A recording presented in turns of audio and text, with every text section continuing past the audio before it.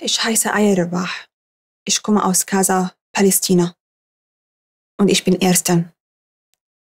ولدت في مدينة غزة في مستشفى الشفاء من أم وأب لاجئين بسبب نكبة 1948 وعشت طفولتي في هاي المدينة وكبرت وسط الدمار والقصف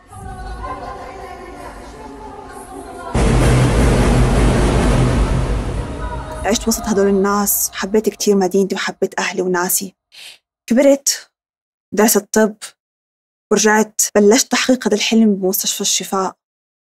الأشهر الأخيرة تفجر الألم من جديد. وبلش بلشت مشاعر الخوف مشاعر النزوح مشاعر إنه عم نفقد بلدنا من جديد زي النكبة.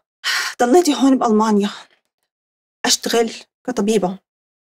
بس من ناحية ثانية كنت أتواجه بالبرود والصمت بعدين عرفت إنه ألمانيا هي أصلا ثاني مصدر للسلاح لإسرائيل بالتالي هي شريكة بهذا الموت والمجزرة